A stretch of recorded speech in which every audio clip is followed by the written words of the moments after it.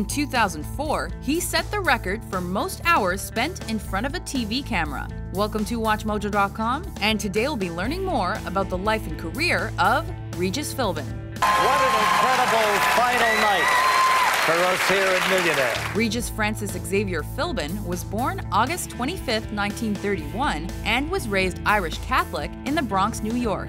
In 1953, he graduated from Notre Dame University with a degree in sociology, and soon after, he enrolled in the United States Navy.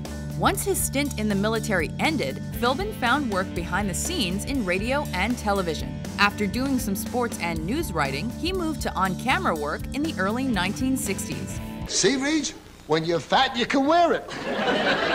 In 1967, he started as announcer and sidekick to the host on The Joey Bishop Show. Regis Philbin.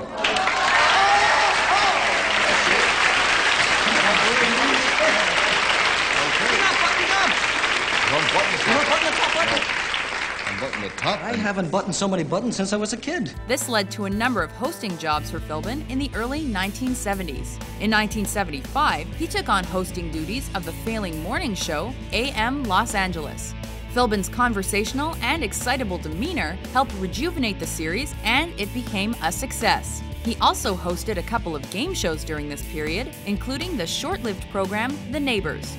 Today we're going to find out all about our five good neighbors who live on Osita Avenue in Granada Hills, California. By 1983, Philbin had returned to New York to ABC's The Morning Show. This program was also on the brink of failure, and Philbin helped bring it back to life. After a number of co hosts, Kathie Lee Gifford was brought on to pair up with Philbin in June 1985. This duo proved to be very successful, and in 1988, Live with Regis and Kathie Lee was syndicated nationwide. In its heyday, Regis and Kathie Lee enjoyed viewership of 18 million people each morning. One of the show's trademarks was the conversational style that Philbin had perfected early on in his career. Unscripted banter and joking between the two hosts offered entertainment value, and Philbin was noted for his comical crankiness. Horrible laxative tea, and that's what gets you going. It's called Smooth Move. Oh! Gifford's and Philbin's old married couple type relationship put viewers at ease. Ironically, Philbin's real life wife, Joy, often sat in for Gifford when she was unable to appear. Philbin's informal style translated to the page when he co wrote two autobiographies 1995's I'm Only One Man and 2000's Who Wants to Be Me. In 1999, he became the celebrity face of the immediately successful game show Who Wants to Be a Millionaire, and that series spawned his famous catchphrase.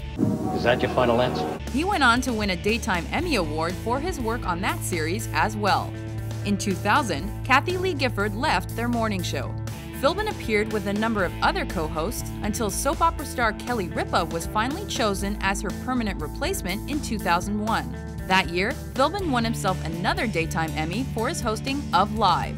As a self confessed workaholic, Philbin broke the Guinness World Record for the most time in front of a camera with over 15,000 hours in 2004. He added to that when he hosted America's Got Talent, though he was forced to quit after the first season due to the grueling work schedule and commute.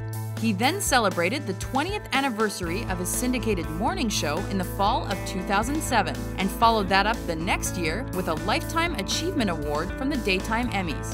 That lifetime of achievement has included a number of appearances on talk shows. Well, I wanted to be part of the big time. Ah, You know? And this is the this big is time. it, huh? This is the top. I'm of beginning to wonder.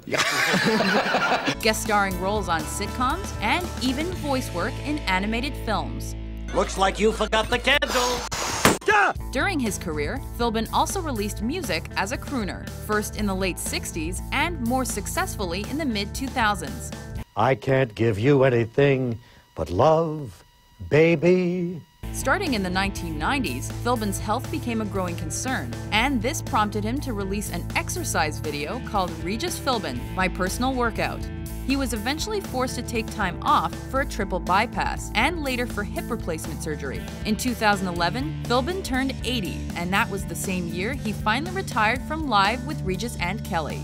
After having spent the majority of his life in front of a camera, Regis Philbin has become a beloved pop culture icon and one of the most recognizable faces and voices in daytime television history. Regis Philbin, ladies and gentlemen.